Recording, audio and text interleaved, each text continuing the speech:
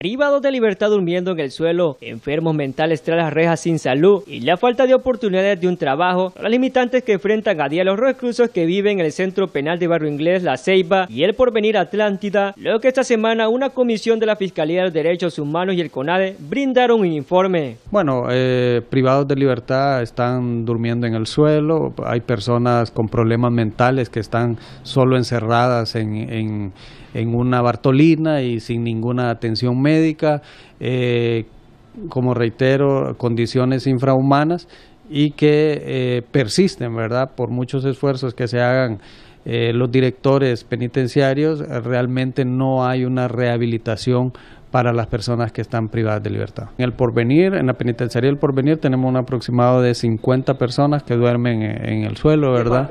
de 534. Y aquí en Barrio Inglés también nos hicieron alusión a varias personas, un aproximado de 30 a 60 personas nos decía que están en iguales condiciones. Entonces, eh, como le reitero, no hay oportunidades para que ellos mismos también puedan eh, acceder a, a, tener mejores condiciones, sino que los tenemos encerrados ahí y a la mano de Dios sin ninguna verdadera rehabilitación integral para todos ellos. El hacinamiento en los últimos meses se ha incrementado y a ritmo que va no habrá más espacio en el centro penal de Barrio Inglés, lo para muchos se ha convertido en una amenaza para el turismo internacional y una bomba de tiempo para las personas que guardan prisión por diferentes delitos. Eh, las condiciones en las que conviven los eh, privados de libertad en, los dos presidios, tanto en, la Penitenciaría Nacional del Porvenir o la Granja Penal como le conocemos, y como el Centro Penal del Barrio Inglés. Se ha detectado que hay condiciones regulares, ¿verdad?, para que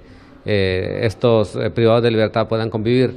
No son las mejores, usted sabe que siempre hay hacinamiento y hay algún cierto tipo de problema, pero eh, al final la conclusión a la que llegaron ambos representantes de los derechos humanos es que hay condiciones regulares, ¿verdad?, aceptables, un poco de hacinamiento, especialmente en el centro penal del barrio inglés, por lo demás eh, se, se, constató que están bien. Según las cifras que manejan las instituciones judiciales en el año 2014, reveló que unos 20 privados de libertad ingresó todos los días en alguna de las 24 cárceles del país, el cual para representantes del CONADE, el sistema penitenciario en Honduras está colapsado.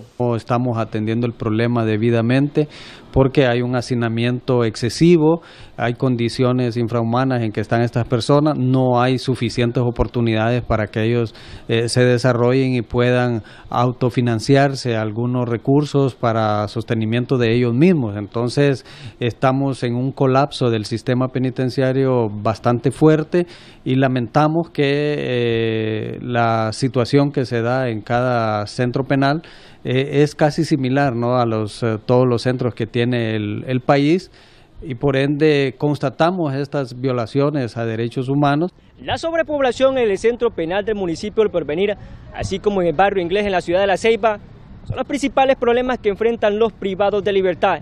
Meses anteriores se habló de remover este centro penal hacia otra zona del país. Sin embargo, no se cuenta con una propuesta. Con imágenes de Marvin Puerto, les informó José Guillén para Telenoticias.